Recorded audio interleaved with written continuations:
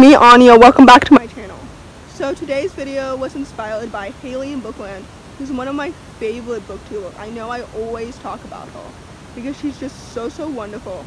And a few weeks ago now, she did a video called New Releases That I Can't Wait For, which I'll leave in the description below. And I decided to jump on the bandwagon and do this video too. So, yay! Like she said, this video is all about these new releases that I just can't wait for. I'm so, so excited for them to come out. I know I did, already did a video like this about two months ago about my most anticipated 2020 releases, which I'll also leave in the description below. And those books are at the top of this list, and these books are like second place. So anyway, the first book on this list is called Five Things About Ava Andrews, and this comes out the 9th of June.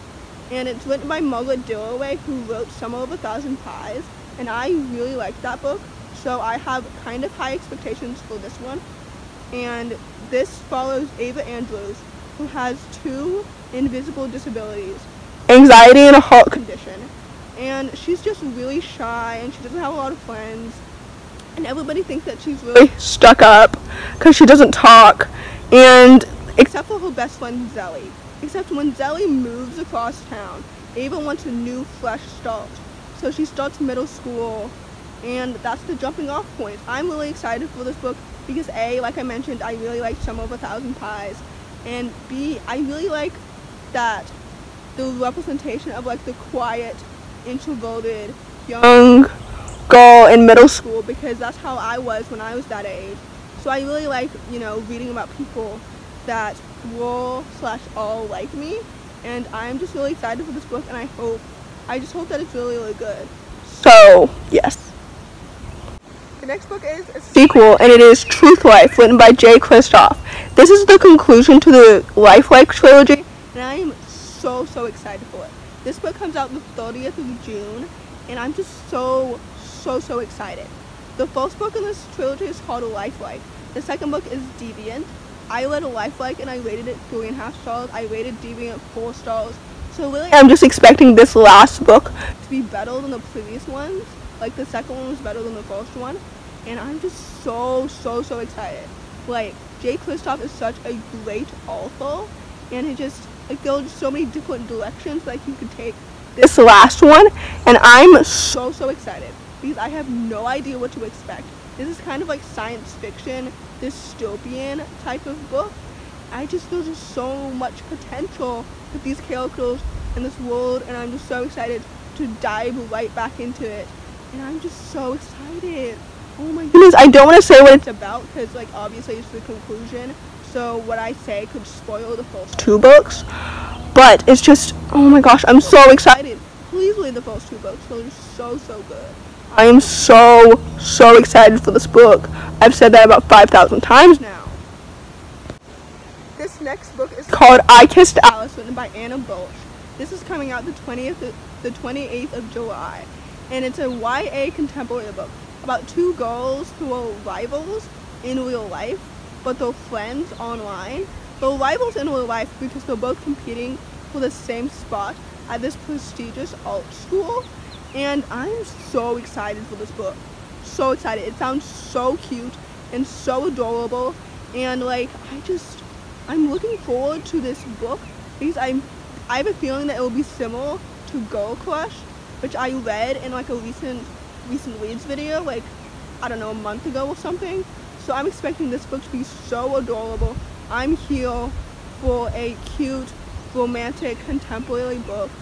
And oh my gosh, I'm just so excited for this because it just sounds so, so good. Oh my gosh. Like if I'm disappointed by this book, I'll be so disappointed. Oh my gosh, I, I'm so excited. Can't you tell? I'm so, so excited. The next book is called The Notorious Virtues, written by Alwyn Hamilton.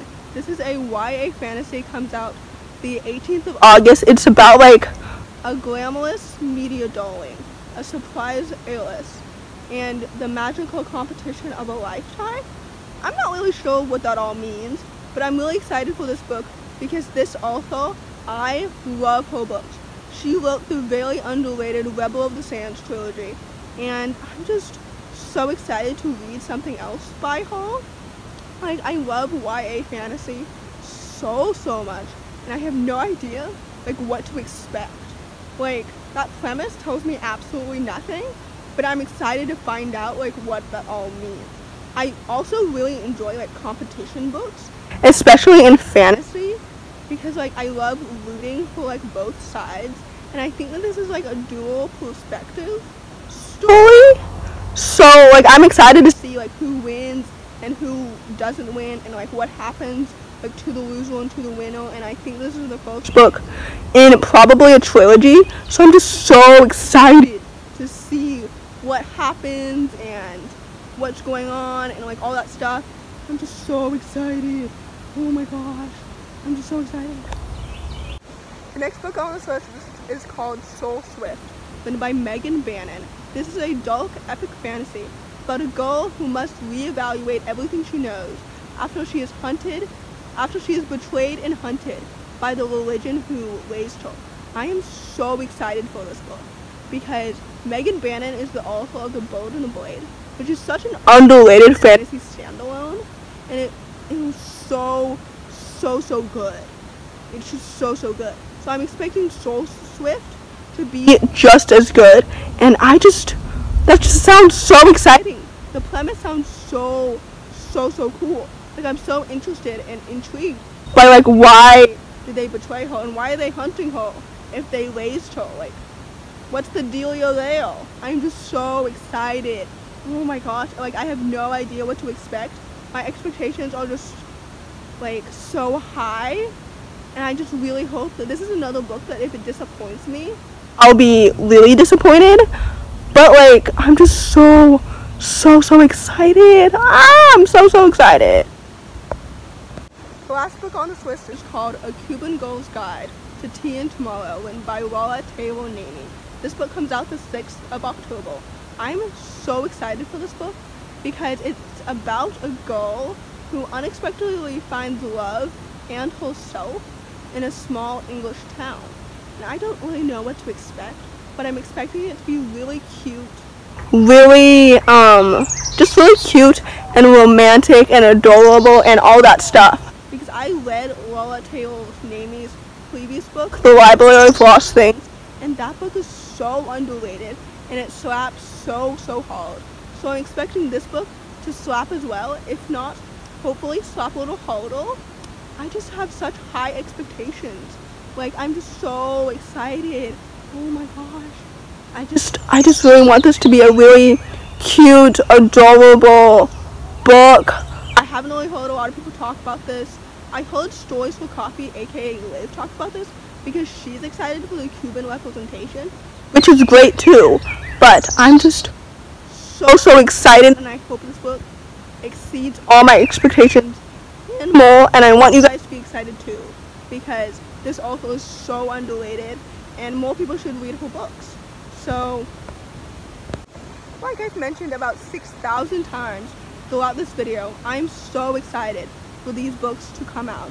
The release dates that I mentioned, I found on Goodreads, and I've heard a couple of rumors that release dates might be pushed back due to quarantine and isolation, which frankly I don't really understand why, because like I've been utilizing my library, and Libby is such an underrated app, and you should get it because like all you do is register with your library, and you can read books like on the app or through your Kindle or something I use my Kindle a lot. That's how I've been getting books. So, yeah. Anywho, the reason why I said that is because these release dates may change, but I hope they don't. So, anywho, if you like this video, give it a thumbs up. Comment down below what new releases you're looking forward to. See if we have any ones in common.